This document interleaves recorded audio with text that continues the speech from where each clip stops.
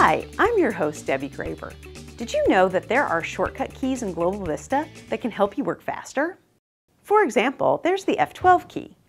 All required fields are indicated in yellow. To quickly pre-fill these cells, simply press F12. This keystroke will pre-fill the cell if there is only one choice, commonly company and currency, or it will provide a window allowing a selection. Another time saver is using the forward slash in the ledger description box. Hit the forward slash key and then tab. Forward slash will copy the description from the PO description field in the middle of the screen.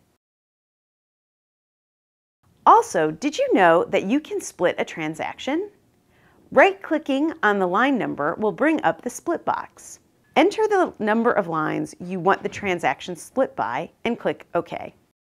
This is helpful when more than one GL code is required for a particular cost. And lastly, using the F2 key and pressing the N key will allow you to quickly append the description without having to grab the mouse. In this case, you may want to add week ending dates for each line of this rental.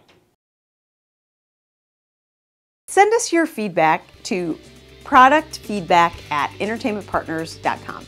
Also, be sure to visit the community page at entertainmentpartners.com. See you next time.